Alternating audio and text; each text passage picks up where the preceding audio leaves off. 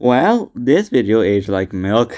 well, hey guys, welcome back to another video. And today i want to talk about Ruanmei because today i just got she because for one i didn't really feel like waiting until this game version of Raiden Shogun comes and i to get she with sparkles. So i just ended up pulling on she because why not? So that video i made a while ago kind of aged like milk but it's whatever.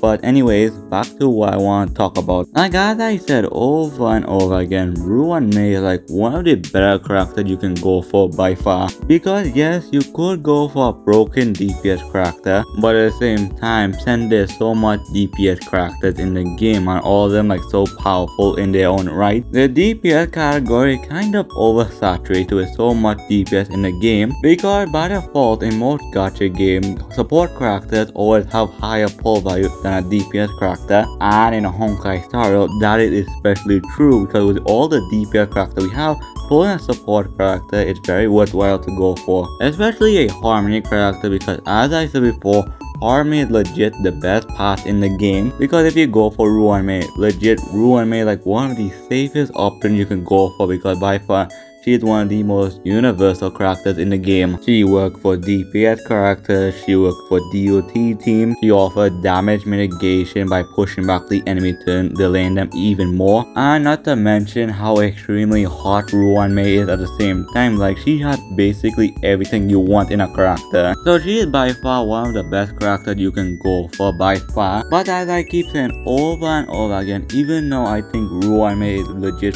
freaking broken, if you don't want to pull on Ruanmei, you can skip it like no one forcing you to pull on Ruanmei. Like there are valid reasons for sure like one if you feel like you have enough partner characters on your account and you feel like you don't need Ruanmei or another reason why you skip in Ruanmei is that you really want both Black Swan and Mama Kafka for that crazy DOT team. Because if you're a free to play player, your resources are very limited so you have to pick for the character you want. It can be rough sometimes for sure because legit every single character in this game is just so enticing, it's just so hard to skip a character. Especially when they up the difficulty spike of the game to where if you can't beat the set character on the feature banner, it's looking kinda nice over there for sure. But otherwise, Ruanmei is a very worthwhile to get because even though she might lose her advantage in this MOC, like she's a harmony character that's on par with with Bronya and can let you double or triple your damage because of how